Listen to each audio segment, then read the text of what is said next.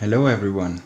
In this video I will show you a different setup with my three bifilar coils and as you can see I have printed some holders so I can place my three coils vertically and I can also adjust their distance from each other very easily and this will be important for the next experiments I will show you.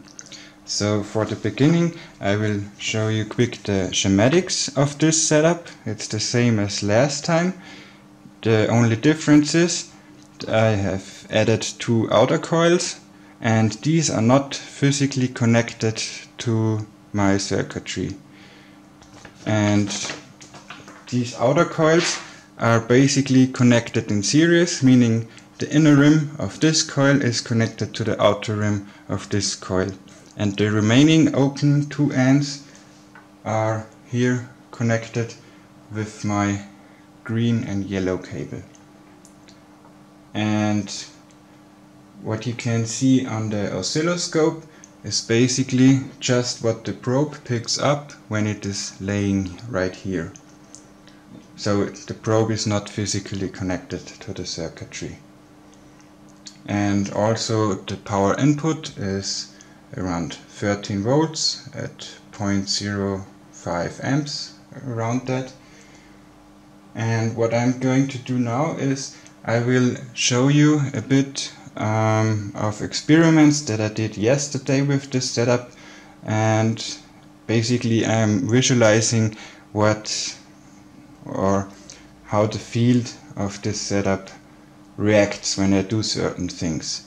So what I've done here is I've connected a small neon bulb to um, the output of one of these two coils that are connected in series. Remember they are not connected physically to the system, they are just powered wirelessly by the middle coil that is pulsed. So I've only connected one end the other end, the yellow cable, is just laying here, it's not connected anywhere. And if I touch it, I hope you can see this on the camera quite well. Yeah, like this it lights up.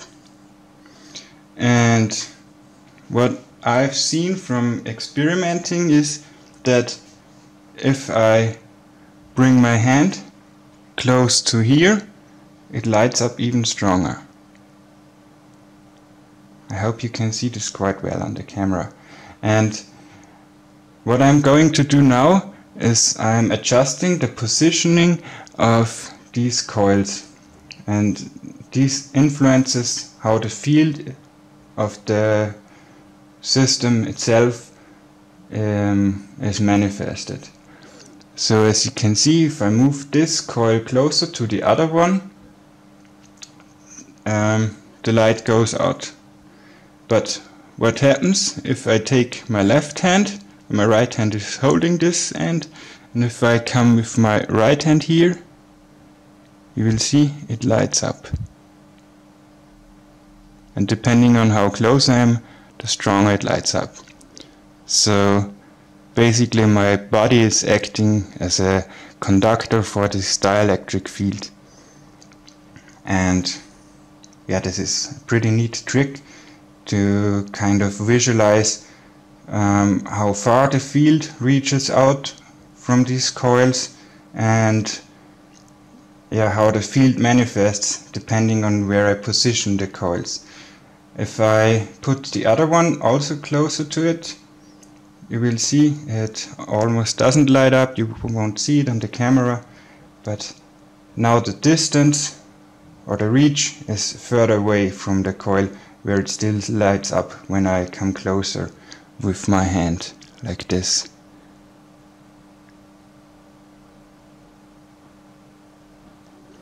So this is a pretty cool trick to visualize the field.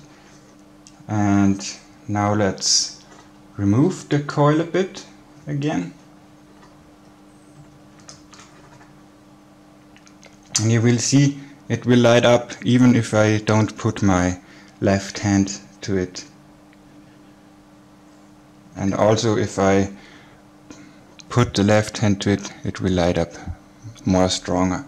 And what also happens is because the uh, neon bulb is connected to the outer end of this coil so the high potential is here.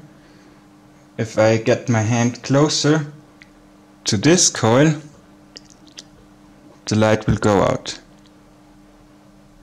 so it does basically the opposite of when I come here closer. And what I found out is when I place my hand in between um, it will give me a kind of a yeah, a, a, static electric feeling. So the hair on the back of my hand will kind of react to the field like as if you had some um, clothing with plastic fibers on it then your hair will also get attracted and this is kind of the same feeling you get because we are dealing here with um, high voltage of static electricity or also called dielectricity. And for the next test what I'm going to do is basically the same. So I have here a small 1 watt LED so they are small but actually pretty um, strong because 1 watt is actually a lot for a small LED so if you look directly in them it will actually blind you for a few minutes. And for this to light up with only my body I have to place these coils um, directly to each other and now it doesn't even want to light up I don't know why last time it did. But anyways, what I'm going to show you now is if I connect both ends to it, it will light up quite strong. And now I connect it like this. And depending on how, maybe hold it in the camera, depending on how far I move away the coils, also the strength goes down same on the other side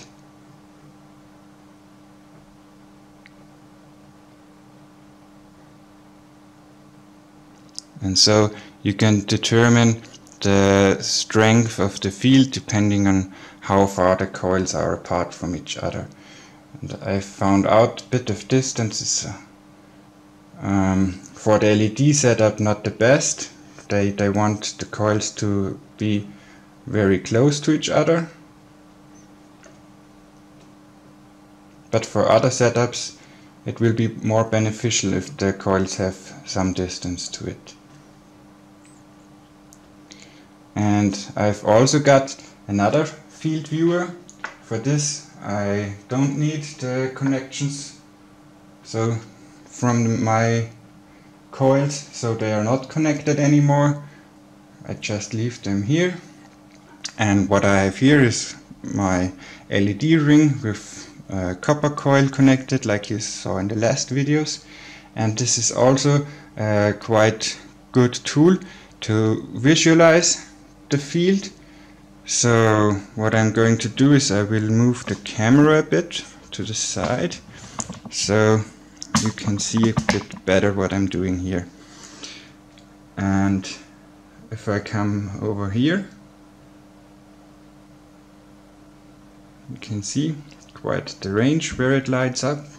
I can also slide it in like this and it will light up. Also like this. And of course also from the other side, which is when, let me take the camera. When I do this from the other side, you will see it will not light up at all when the coils close together. But when I remove, uh, when I put a bit of distance to the coils, like here, then the field changes drastically and it will light up again. Let me put it close here and it will stop lighting up. If I add some distance, it will light up again. And this is pretty interesting, I think. So, also it will, will work like this. And if I put the coils close, it won't work anymore.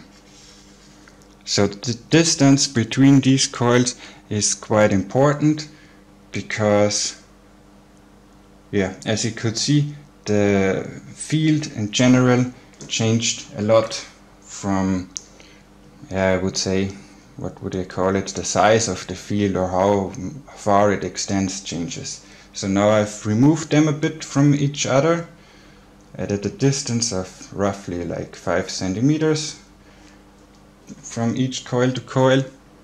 And I found out when I do this the field extends pretty far and it doesn't even matter from which side I place the LEDs they will always light up. All they will do this very bright. Same here. So I basically use this tool as a field viewer because as you can see on the oscilloscope if I move the camera again a bit adjust it like this.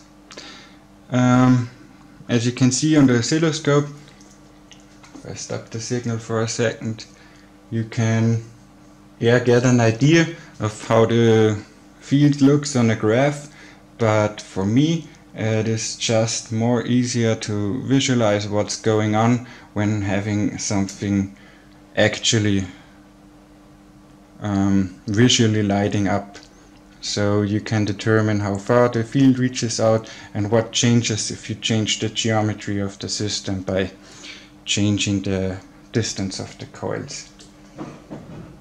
And yeah, I think that is basically it for this video. I just wanted to show you this kind of tricks that you can do with these coils and also for the finish I will take this green neon bulb. I hope this can be seen on the video quite clear. And I will also do the same things again it gets brighter when I do this when I place my hand on this side. So my body is conducting the electricity and if I come closer here it gets weaker. Same goes for here. And I place them tighter together.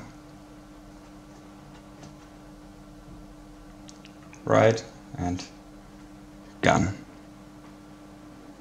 maybe behind black background you can see it better.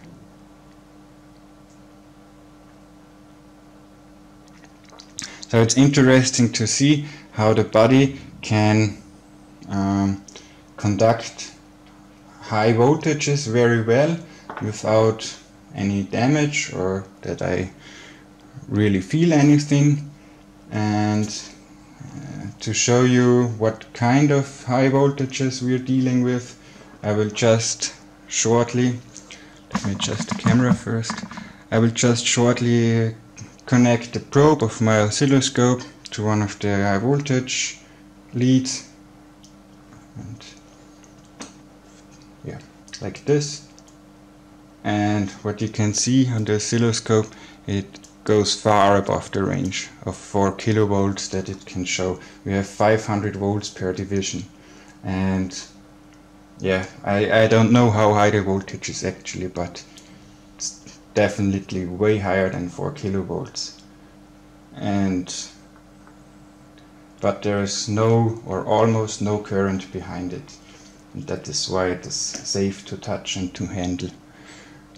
And yeah. I hope you enjoyed watching this video and have a nice day. Goodbye